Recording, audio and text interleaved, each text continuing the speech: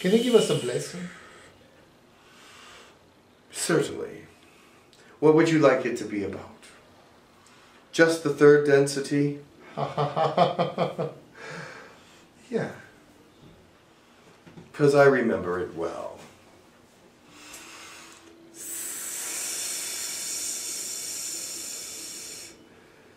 Splendorous wake of sun and sea.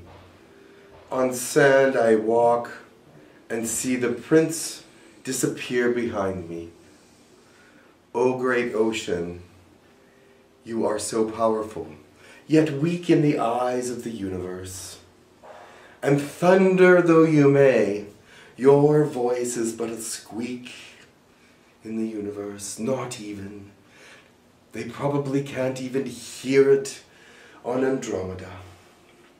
But I understand your beauty, your grace, your intricacies, your life, moving into life and out of life.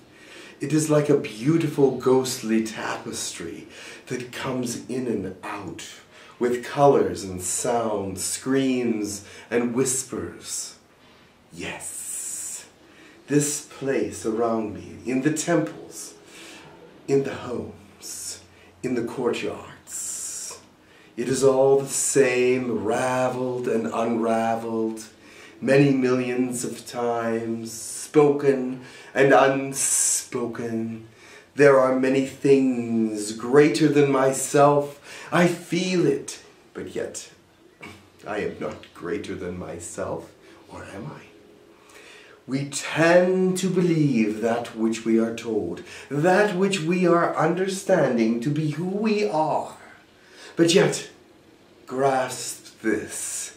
You are of spirit, and spirit moves not only in third dimension. Spirit moves in every dimension. So take heart. There are things about you that the wind cannot blow off of you or into you, and the sun cannot melt or burn out of you. But only you are in control of the flame within. And only you can ask help to control the flame as well.